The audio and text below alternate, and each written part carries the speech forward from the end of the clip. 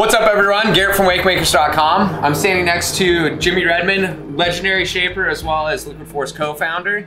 Uh, and we have both of the Liquid Force remedies here, the Remedy Classic as well as the Remedy Aero. Uh, Jimmy, anything you want to say about these boards? Well, you know, this is Harley's weapon of choice. It's the standard board, which is a PU core. He scored the first perfect perfect score in competition on this board. And that was even before we came out with the Aero Core. The Aero Core now features a super lightweight Divinycell CNC core with carbon reinforcement top and bottom, making it the lightest board in the industry. Oh yeah. Yeah, I noticed that this morning. I actually got a chance to ride both of them. Uh, rode the Remedy Classic first thing. Uh, really liked it. Three stage rocker, ton of pop, really great board.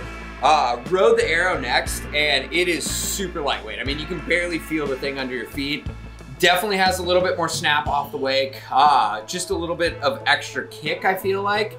Uh, we did kind of get skunked conditions wise, so it was a little choppy. And I actually felt a little more comfortable on the Remedy Classic just because it seemed to sit a little bit lower in the water than the Aerocore. The Aerocore seemed to sit right on the top, which made it a little bit chattery cutting into the wake.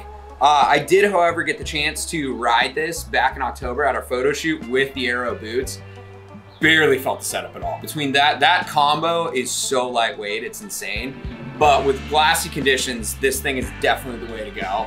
Super poppy, super kicky off the wake. Uh, nice and nice and loose too, surprisingly. I mean, you can really play on the board.